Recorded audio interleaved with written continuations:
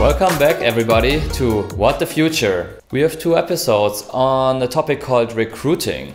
To be precise, data driven recruiting. If you are a recruiter, you know the skill shortage is very huge and it's becoming bigger and bigger, especially for very specialized skills. Now, the bad news are the problem is not getting any better in the next years. The good news, however, are technology is there to help you.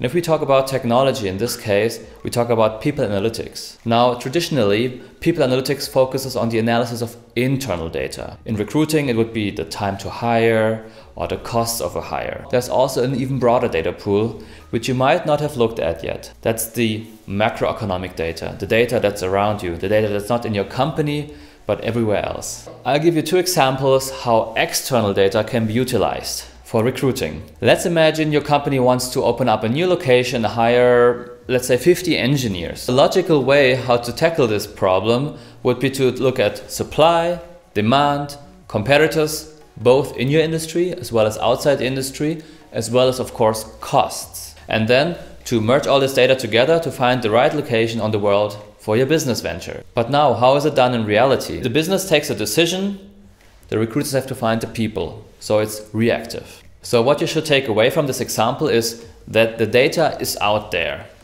You just have to find it and utilize it before the decision is taken. Now let's talk about the second example, comparator benchmarking. Benchmarking is done everywhere in recruiting, usually about compensation.